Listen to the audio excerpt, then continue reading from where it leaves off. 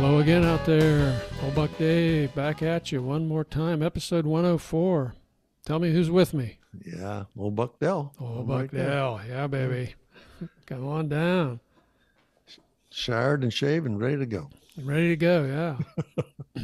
hey, this was kind of a homecoming for us, wasn't it? It was. It we, was. We uh, had an actual, actual sit down at the coffee shop here the other day. It was nice. we nice. did, and it, it was uh, typical uh, coffee shop. Uh, what uh, Banter. yeah, Repart- banter, uh, repartee. yeah, we did our cold brews, laughed a little bit, Laughed a little bit. glad to see one another. Survived all the running around we've been doing. Yeah. So what's what else is going on in your world? Well, in my world, uh, I've been living with uh, chainsaw noise. Um, um, you must live in Florida. Yeah. Oh man, the, the debris, the debris Oh. fields around there trying to clean up. They're using those uh, big wood chippers, and it's just, I mean, it's just constant noise. I had left the Mhm. house the other day. I just couldn't take it anymore. A lot of trees that suffered damage were not salvageable, and I don't know. You know what it's like when that tree falls down, or you cut cut something down. The landscape just changed dramatically Oh you know, yeah. with all the light coming in and you, what you were used to. So it falls into that category of the folks uh, will find that the to me the tragic part of this storm is uh, what's left and how it looks and how you feel about it and what you lost and and uh, what it cost and all those things like that. So that's what I've been doing for the last couple of days. But it's kind of quiet right now, so I can I can talk without that you know that two stroke engine noise all over the place. Yeah. Hey, and by the way, if anybody anybody in the Florida area who's listening and wants to comment on their dealings with Hurricane Ian, feel free to write us at uh, bucks2old at gmail.com. We're, we're always here. We're always here for you. I'm glad you mentioned that. I mentioned that. Actually, uh, interestingly enough, um, a friend who listened, I told her about the two old bucks, and uh, and she tuned it in, and she said, "You know, my son is involved in the podcasting kind of thing," and uh, and she gave us a nice compliment. Actually, she she thought we sounded like uh, two old friends, and I Two said, old guys. I said, "That's our uh, That that's what we do." You know, we, That's what we do. that's the theme of our program. But her son got involved, and I said, well, uh, have him write to us at uh, bucks2old at gmail.com, and maybe we can hook up with him and absolutely do an interview or something. So we'll see if they're still listening uh, and, and if we get any response Could be reciprocal interviews. Yeah, All right? never know. You never know. I'd be happy for him. Happy Spreading to the love, him. baby. Spreading the love, huh? Happy to support him. Hey, speaking of spreading love, I got my COVID booster the other day, Saturday. How'd that go? as usual, my, you know, I'm uh, I'm out on the tail of the distribution for reactions. the good news is I only had 101 fever this time. Ooh. yeah, I was kind of laying around for two or three days, but didn't get chills, didn't wasn't shaking in my boots or anything like that. So that's that's better than the other one. So hey, some- two two days, it's worth it. You know.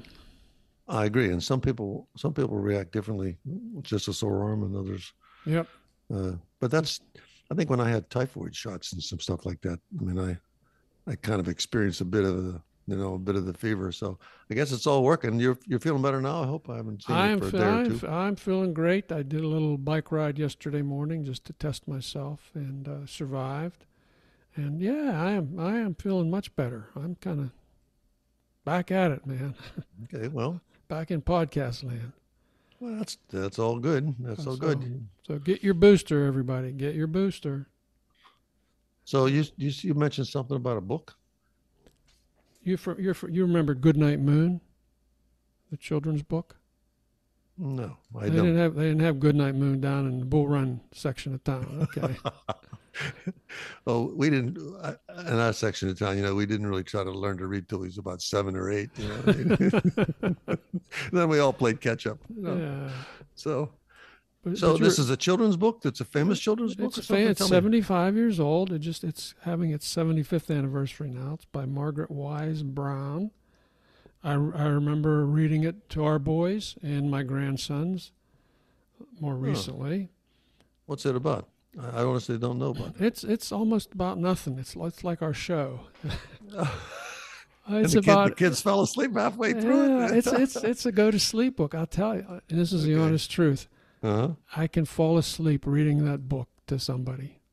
Oh, really? It's it's about a you know it's about a little. It's not a kid. It's a rabbit. Okay, so Oh, and so they're, they're just rabbits are not people. So it's kind of universal. Everybody you know nobody nobody can complain about rabbits. You know. true. And uh, it's about a kid going to going to sleep, and you know, grandma reading him a story, and the fire burning in the fireplace, and the mittens, and the bed, and it's just it's just very relaxing. It really Oh. is. So it's it's 131 words. That's all it is. 131 words. The book is 131 words 131 words. That's that's less than we've spoken already. with like a lot By of far. Pictures. You know, well illustrated. Ah, good point. The, the illustrations are probably at least as important as the uh, text. okay. It's it's illustrated. Let's see, what's this guy's name? So Clement- some somebody Clement young would somebody young would really relate to that. I'm sure. Yes, yes. Pictures just convey the words. Well, now I know what I got to get you for Christmas. hey, if it helps me sleep.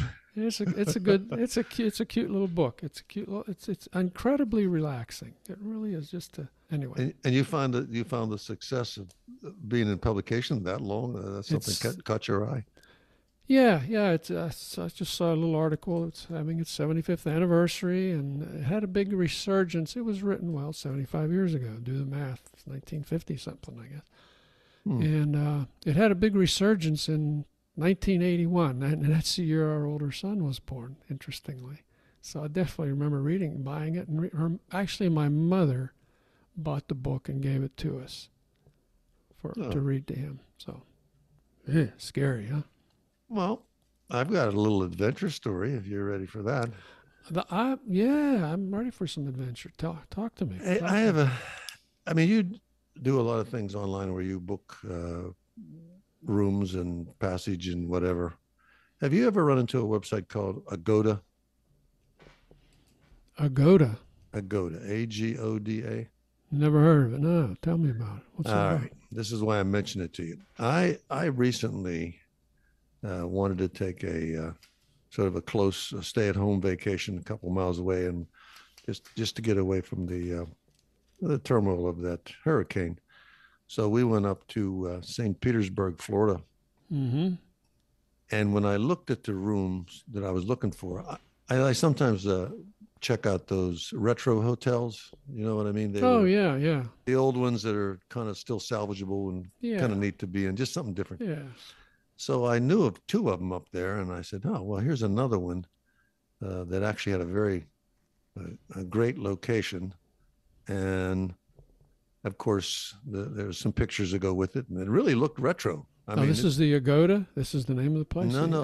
I'll tell you how. I'll tell you how that right, comes I'm sorry. in I'm sorry. I didn't mean. It's not- The name of the hotel is called the Ponce de Leon, Ponce de Leon in. Okay. Hotel, and it.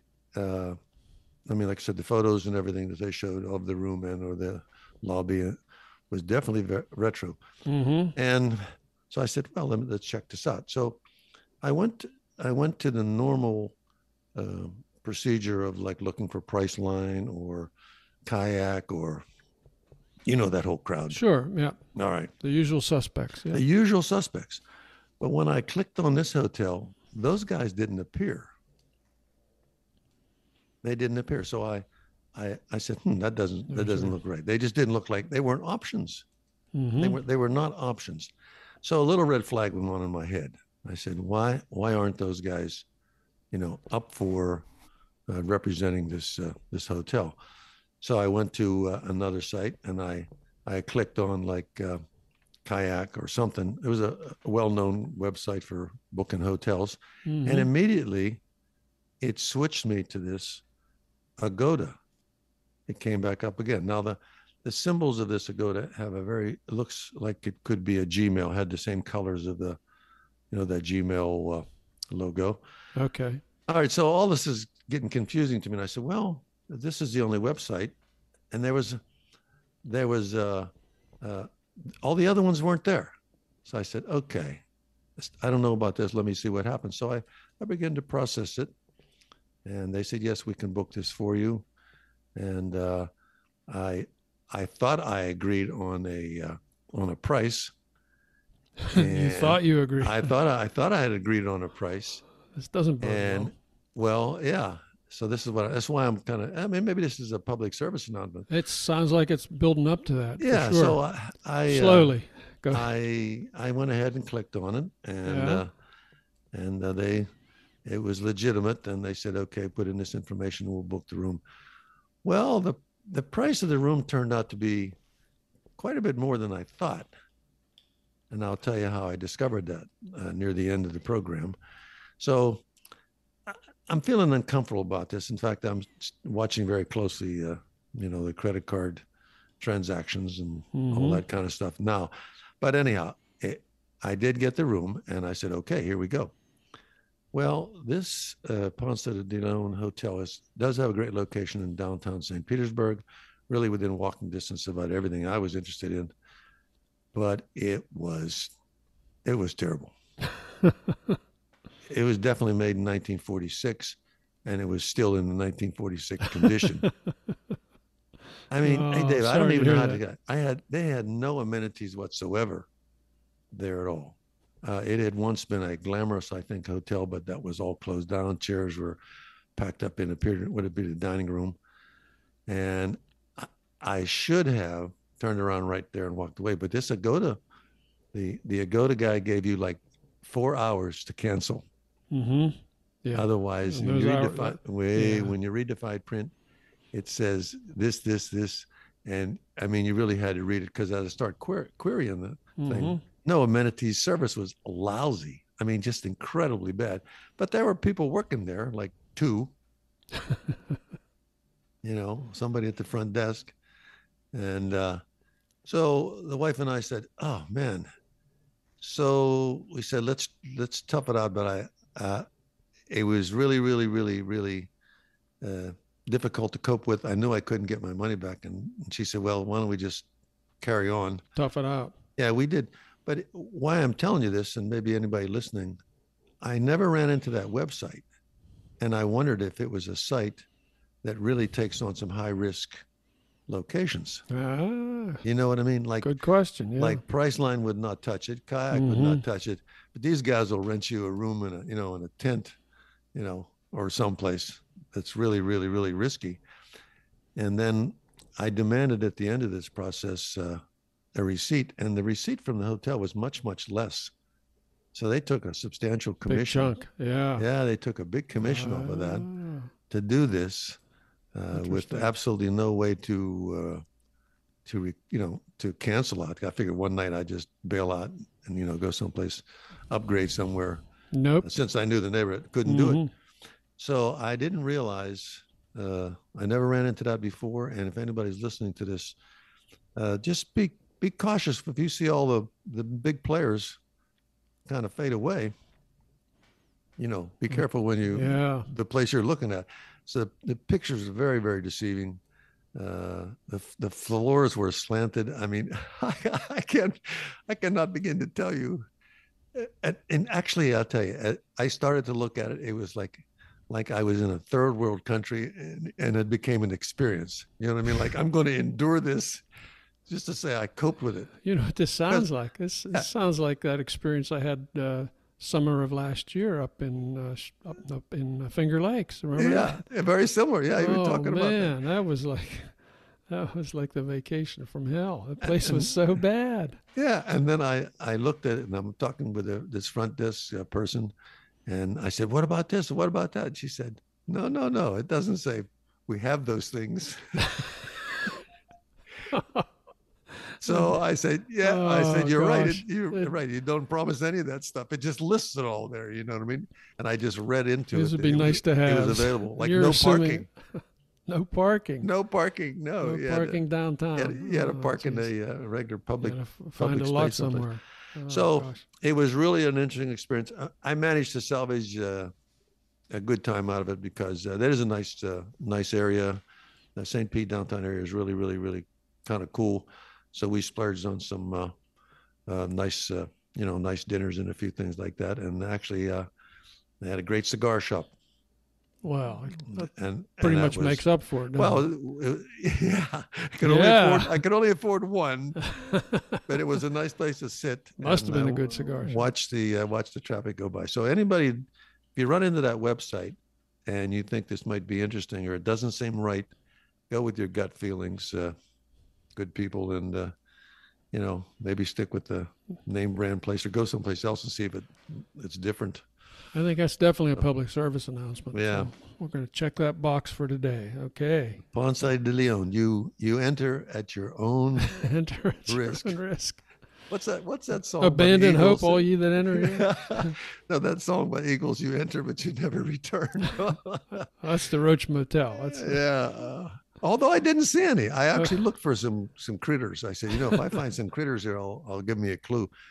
But Oh. uh, I did not find. I kind of scoured around a little bit to see if I could see something running around. But I said, man, even these guys, even these guys bailed out. oh, speaking of critters, yeah, no no critters. I got a critter story. Oh yeah, what's Oh yeah, some, uh, some critters that we're familiar with, perhaps? very familiar with, especially you. Oh, oh, I know who those guys are. What? Tell me about Well, them. when we came back, we found these little little piles of dirt-ish stuff in the kitchen and different places, and it turns out we had ants. Well, this we is uh, uh, clarify that you you're you're just returning to a house that had been empty Yes, for a, f- a few weeks, W- months, a few months, months. Okay. several months. And And you said, "What are these little piles of dirt?" what are these here?" little things? So fortunately, the the quarterly exterminator visit was coming up, and I said, "Yeah, you guys got to do the inside version here." And 'cause we got these these little suckers were showing up everywhere. It was ridiculous. What did they call them? They give them a like a, Well, actually, yeah, they, the, the, the guy called them ghost ants. little tiny ones. Ghost. They're real tiny. They're very light. Yeah, and uh, he was a character. It was worth it just to have him in the house for an hour. This guy's name was Alonzo Nightingale. You know, if I could change my name, that's what I'd change it to. That's the a, it's a beautiful name. exterminator. That's a beautiful name. And this guy was such a character, and he had like his big floppy hat on. He never took off, and he he looked like uh, like you a know. movie. Sounds like a movie character. yeah, he looked like you know like the guy in Tarzan movie or something. So so And he was, ask he was so good. He was really good. These these ants now they they occupied what the the, the baseboard or did they get into something? I mean. Uh, like they're all around the edge, or did they manage to get Well, in your yeah, toaster or something? My toaster. They did. I, I'm, I was making toast and I'm thinking, why does the toaster smell like hair burning? You know, when you like you singe your hair on a stove or something. Ooh, It's like, what the hell's that all about? fried ants on toast. I'm, I'm Oh, licking man, my they, lips they came already. streaming out of there. Opened the dishwasher. They were all over the dishwasher. They were. But this, but uh, this guy, Mr. Nightingale, he, he came in, man. He had his high-powered flashlights, and he said, "Oh yeah, I see. Yeah, I know where they're going. I know where they're coming from." The guy was terrific, and he says, "Oh, I found the main line, the superhighway, man. They're coming right across here from your out from your deck there, under the. Oh gosh, it was."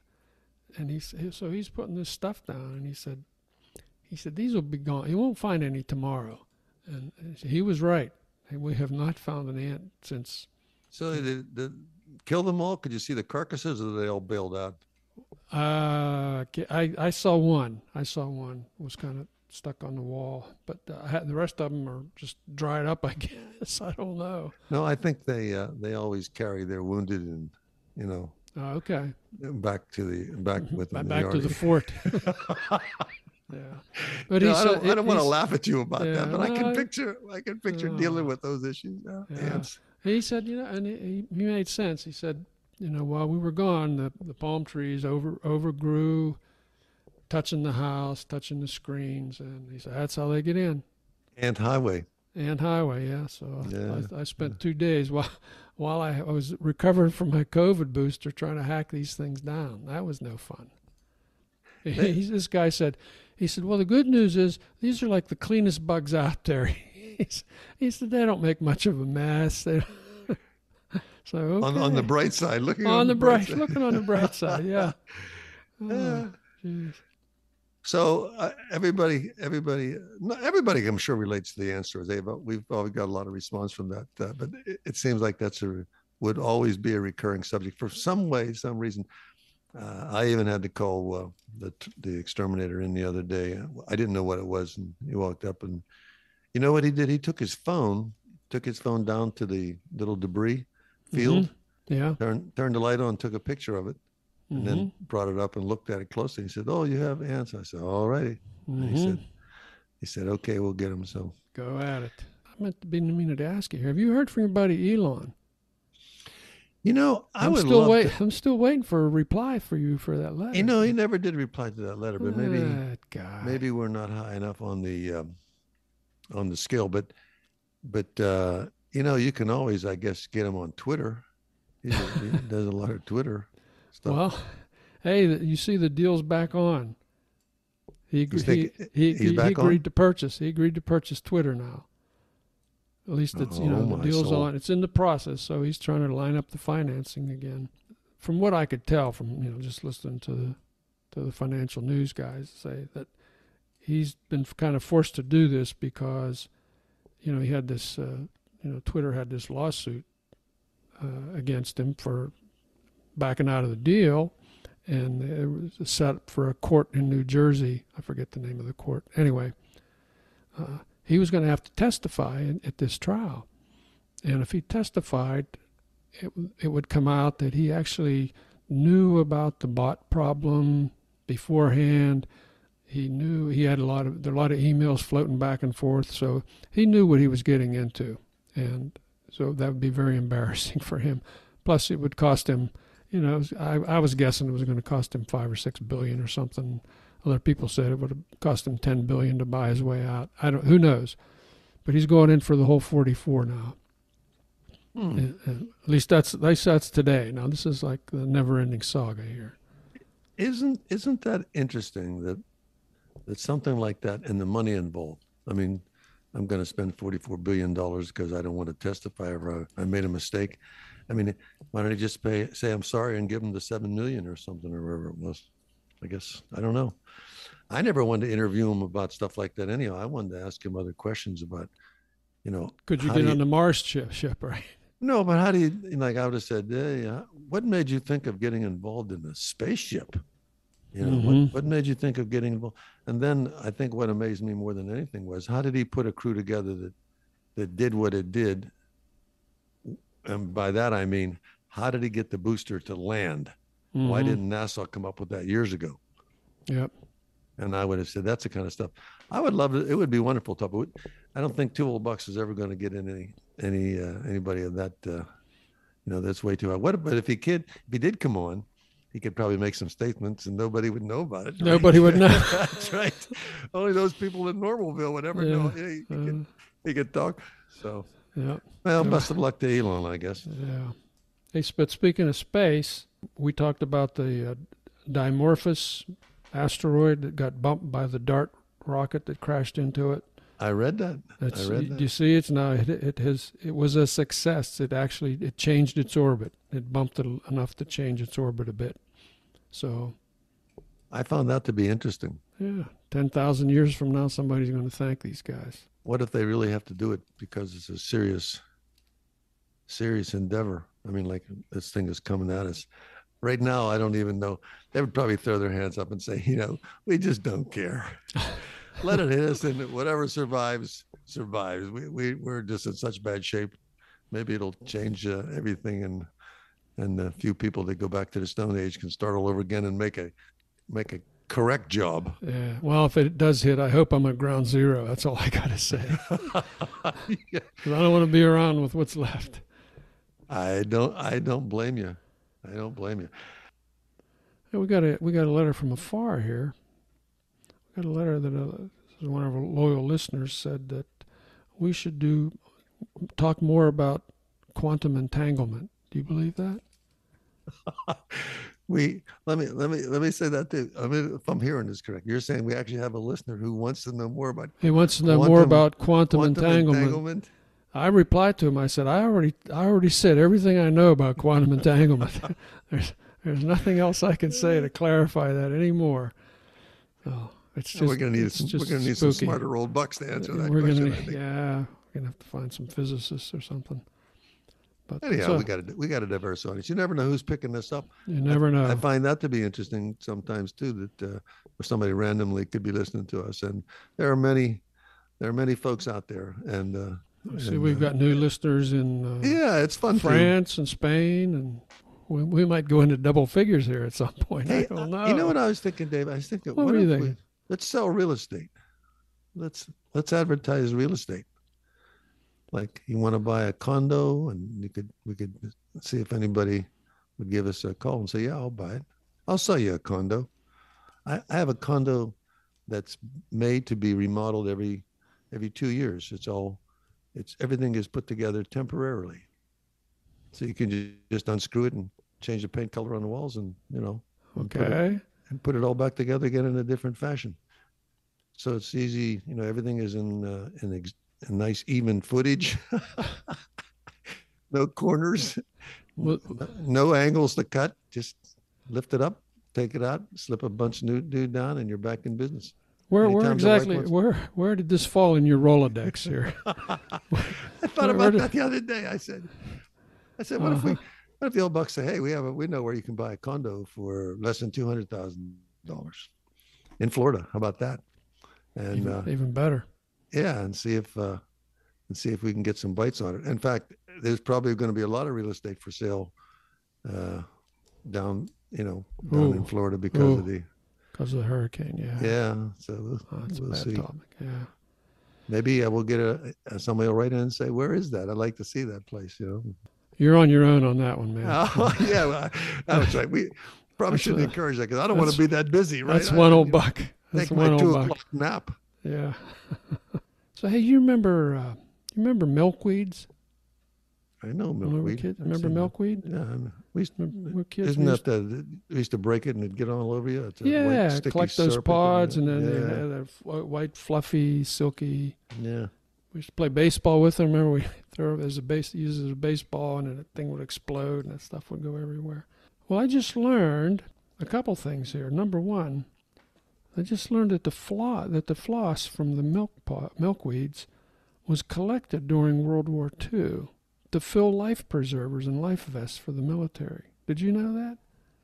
I didn't know that. I didn't know that. That was before our time, of course, but Mm. yeah, it was used to. They they had, they had drives. They had collection spots for for milkweed. And Have you get- seen any of that stuff lately? Anywhere? Wow, that's the point. That's the other point I'm getting to. It's the- it's The milkweed uh, production is way down in Mother Nature, and for a couple reasons. Uh, you know, urban encroachment. You know, more and more people are, you know, building houses and fields are going away. Plus, use of herbicides that uh, take out everything. And it turns out that that monarch butterflies like to lay their eggs on the milkweed milkweed pods. You know, that I knew. That I knew. Okay. Okay. And then the uh, then the caterpillars eat the leaves before they, you know, transform before they do the whole chrysalis thing and become a butterfly. Interesting. So milkweed milkweeds are way down and monarch butterflies are down 90% as Consequently, well. yep. So Mhm. there you go. So there are efforts there are efforts afoot now to replant milkweed and save the monarchs. Which I think is that's a noble effort. at least in their in their migratory uh, path, I would think. I, I think Yeah. I, I know that the, I know that the monarchs like that, but they I think uh, when they gave the moniker milk weed, that probably doomed it. If they would have said the, the butterfly plant, yeah, it yeah. would have it stood a better it might chance. have, might have stood a let's not chance. kill that. That's a butterfly plant. Oh, it's a milk Yeah, weed. good point. Good point. Yeah. You heard that here first, by the way, on uh, Two Old Bucks. You know, This is goes- just like the lanternfly, the Yeah. spotted lanternfly. So next, that's that's right. monarch butterflies down 90%, milkweed down 90%. Might be a correlation there. Might be causal. So, what other scientific stuff have you been you've been dabbling in? I've been dealing with so many uh, what uh, reality things. I haven't had a chance to. I haven't even opened a book lately. Not even one. There's too much too much mess to clean up. Oh, I'm reading uh, short stories of the last hundred years, American short stories of the last hundred years. And I'm up to like 1970 now. Got to tell you, some of those old short stories were pretty bad. These were the best of the best they're picking out. So it's just di- a different, different time, different styles, different things that people were looking for. But some of those, some of those stories were dreadful, and these were like two or three of the best of the decade for each decade, and uh, we had some sparse decades going on back in the 20s and 30s. Are you doing that for amusement, or are you doing it Amusement. That's Because, because amusement. you are a bit of a writer. I mean, No, you can just- get a few good paragraphs out that are pretty meaningful when you write. Uh, you know, maybe you're just trying to see how, how what others think. But of course, if it's not interesting, it's not interesting. Not it's- interesting, If it's if it's a period piece, that always can turn you off. So I hear you. Well, you know what I think. You think what? I think we're getting to the end of the road here, buddy. Ah, the old bucks. I'm tired today. I could. I'm. I'm gonna. I definitely. I'm tired. I'm just. So I feel overwhelmed. Why don't you take a little nap today? I, I think that will not be a problem. Uh, Not be a problem. Hey, always good. Always good checking in with you. Uh, we'll spend more time together in person, obviously, from here on in, uh, since you're a little bit closer. Uh, Yeah. so this is old Buck Del saying, uh, it's just uh, just the two old bucks, uh, like they are. And thanks for listening. This is old Buck Dave saying the same thing. We're just who we are. Thanks for listening, folks. See you next time. Hear you next time. You'll hear us next time. Bye bye.